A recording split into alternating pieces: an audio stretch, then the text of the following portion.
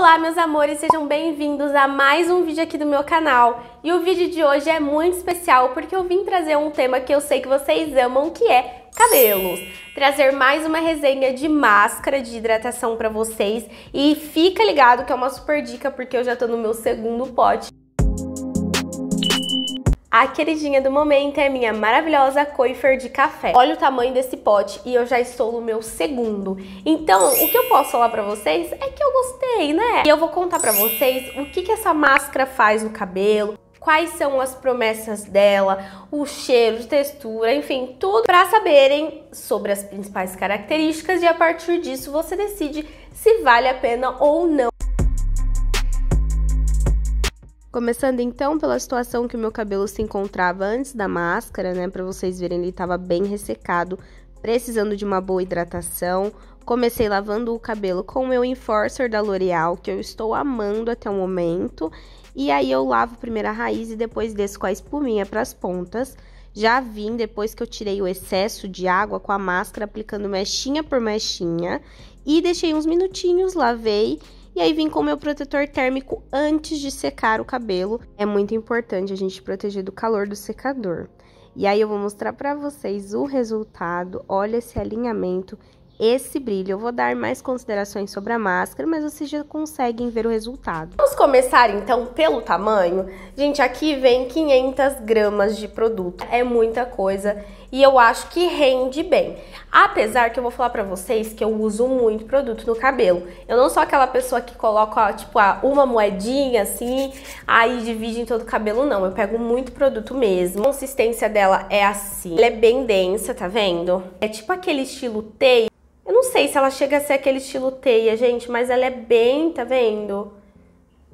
Pegajosinha. E o que mais me encantou pela primeira vez que eu usei foi o cheiro, gente. É o cheiro mais gostoso de máscara, porque é um cheiro meio adocicado, mas não é enjoativo. Ai, mas o cheiro dessa máscara é tudo. Então eu vou ler as promessas do produto aqui pra vocês. Ela é emoliente da fibra capilar que foi enrijecida por processos químicos. Tá falando que é de cherry coffee oil e green coffee oil. Então, óleo de café de cereja e óleo de café verde, nem sei a diferença mas é uma máscara doadora de brilho. E sabe o que eu achei muito interessante nessa máscara? É que ela você pode usar desde a raiz do cabelo até as pontas, que promete doar brilho, é, dar uma emoliência. Eu paguei na Black Friday 40 reais. E eu acho que ela custa em torno de 60. Pelo tamanho, eu acho que super compensa o valor.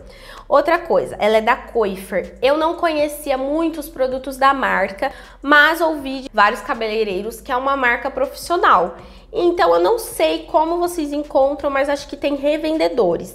Eu, de primeiro momento, posso dizer para vocês que não dei muita coisa. Ah, vou testar, mas não tô com muita expectativa e me surpreendeu horrores. Realmente deixa o cabelo brilhante. É o que eu sinto quando meu cabelo tá super opaco e eu passo ela, eu sinto um brilho instantaneamente. Você tá aplicando no cabelo mesmo, você já sente o cabelo desmaiado. Ela deixa o meu cabelo muito leve, muito hidratado. Como ela tem óleos de café e tal, eu acho que é nutrição, né? Por ter esse poder nutritivo dos óleos.